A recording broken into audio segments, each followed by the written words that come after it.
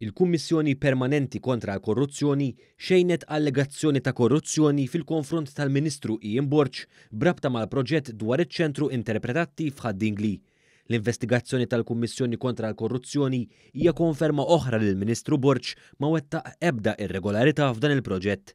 Sentejn ilu l-Awditur Ġenerali xejjen ukoll l-istess allegazzjonijiet dwar użu ħażin tal-fondi Ewropej fil-proġett taċ-ċentru f'Ħad Dingli. L-investigazzjoni kienet dwar allegazzjonijiet li saru fil-konfront tal-Ministru Borg li meta kien Sindku twettaq il-proġett f'Ħad Dingli. L-allegazzjoni kienet timplika li Borg kellu interess personali f'dan il-proġett u ta' nuqqasijiet minn entitajiet tal-Gvern li kienu involuti fosthom id-Dipartiment tal-Artijiet. Fl-investigazzjoni tagħha, il-Kummissjoni kontra l-Korruzzjoni ppreseduta mill-Imħallef Emeritu Lawrence Quintano qalet li l-allegazzjoni li saret minn ċertu Noel Ciantar kienet miċħuda b'mod mill-iktar ċar għal darba tnejn matul is-smigħ quddiem il-Kummissjoni.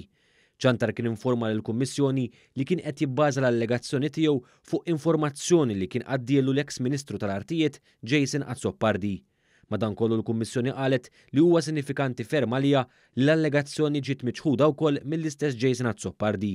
Qalet li dan mhux biss ċaħad kategorikament dak li ngħad iżda qal bil-kontra ta' dak allegat. Il-Kummissjoni nnotat ukoll li ħadd ma kien indikat minn Ħad-Dingli biex jitla' jixhed quddiemha u li fil-Qorti xi jgħidu n-nies ma jammonta għal ebda prova serja u ta' min joqgħod fuqha.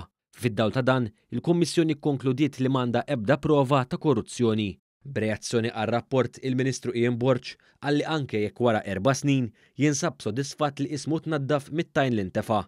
Qal li huwa kburi b'kull proġett li wettaq u sostna li l-integrità li dejjem mexa biha titkellem waħedha fis-suċċessi miksuba.